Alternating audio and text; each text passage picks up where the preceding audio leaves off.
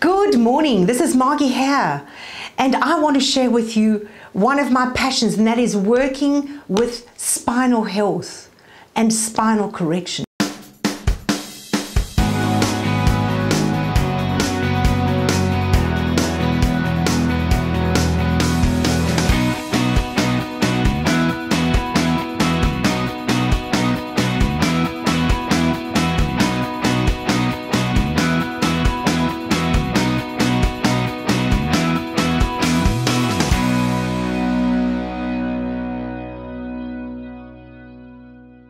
This little very short routine is three exercises. You do each one for five minutes, so it's 15 minutes. I'm going to show you how to do them, what to do, and you can do it in the comfort of your home. Go to your local sports shop, and this is the AOK ball. There are other balls. I find the AOK is the most reliable. I've had this for nearly 20 years. I've even done it outside on the grass, and it's never burst. So you want a burst-proof ball. So the first exercise is actually sitting on the ball and all we're going to do is balance on the ball and the spine makes tiny little corrections. So all you're doing is balancing on the ball. Doesn't matter how you do it, just balancing on the ball. You spend five minutes just balancing on the ball. Allow the ball to go wherever it wants to go, but make sure you don't fall off. Just balance on the ball. Backwards and forwards, side to side, circles, whatever, just balancing on the ball. And what actually you'll find is that the work is done as the spine moves around. That is your first exercise. How easy is that? The second exercise, we so we've actually been working, imagine your vertebra is like this. The second exercise, we're going to go over the ball like that. So it looks like it's really difficult, but it's so easy and it's really comfortable. So the second exercise, we start, I call it the frog position, because it's really important that you always come back to the frog position. So you've got the ball in front of you, you're over the ball and you are actually pushing yourself forward on the ball, like this. The object is to first get your balance so you're not falling off the ball.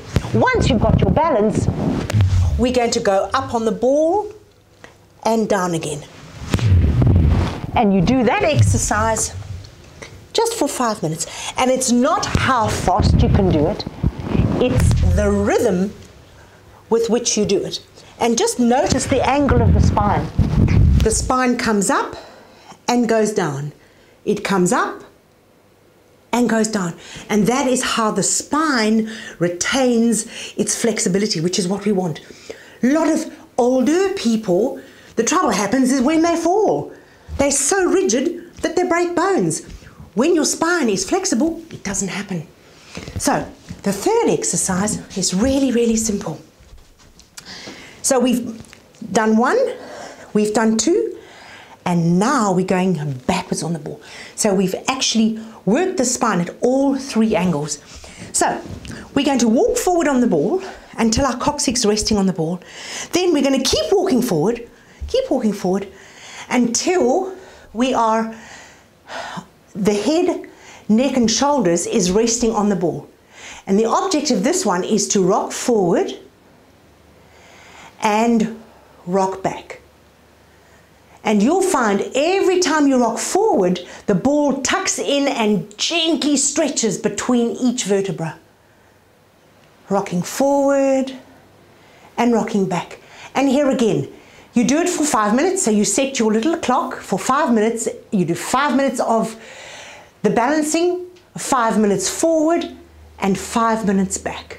When you're feeling really comfortable, you take a step closer to the ball and then see what happens.